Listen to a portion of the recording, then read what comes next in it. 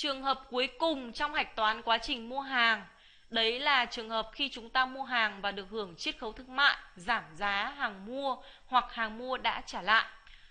Thứ nhất, hiểu qua chiết khấu thương mại là gì? Khi các bạn mua hàng với số lượng lớn thì các bạn có quyền mặc cả để người ta có thể giảm giá cho mình.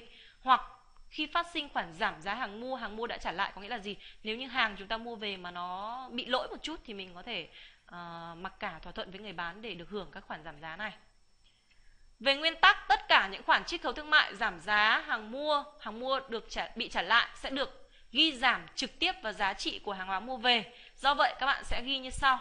Nợ phải trả cho người bán nếu như các bạn được hưởng và trừ luôn vào số còn đang nợ. Hoặc nợ tiền mặt, tiền gửi ngân hàng nếu như chúng ta được hưởng và nhận luôn về bằng tiền. Đồng thời ghi giảm trực tiếp vào giá trị của hàng hóa, có tài khoản vật liệu, có tài khoản công cụ và có tài khoản hàng hóa.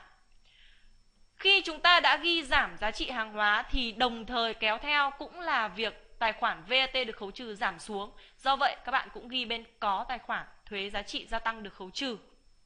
Quay trở lại cái ví dụ này, chẳng hạn. Giả sử như tôi mua nguyên liệu, vật liệu, trị giá 120 triệu đồng, và cái lô nguyên vật liệu này tôi mua với số lượng lớn, cho nên người bán đồng ý cho tôi được hưởng cái khoản chiết khấu thương mại thì thử xem kế toán sẽ định khoản cái khoản chiết khấu thương mại đấy như thế nào. Nào, giả sử giả sử doanh nghiệp được hưởng chiết khấu thương mại 1,1 triệu. Đây là giá đã có VAT. Và được nhận về luôn bằng tiền gửi ngân hàng. Lúc này chúng ta sẽ ghi nhận như thế nào? Khoản chiết khấu thương mại này doanh nghiệp nhận về bằng tiền gửi, do vậy tiền trong doanh nghiệp sẽ tăng lên, chúng ta ghi nợ tài khoản tiền gửi ngân hàng. Tổng số tiền được nhận về là 1,1 triệu đồng. Đồng thời chiết khấu thương mại làm giảm giá trị của hàng mua về. Ở đây các bạn đã ghi nợ tài khoản hàng mua đang đi đường, do vậy chúng ta cũng ghi có tài khoản hàng mua đang đi đường. Giá trị hàng mua đang đi đường khi nãy chúng ta ghi chưa thuế, do vậy ở nghiệp vụ này các bạn cũng ghi số tiền chưa thuế 1 triệu đồng.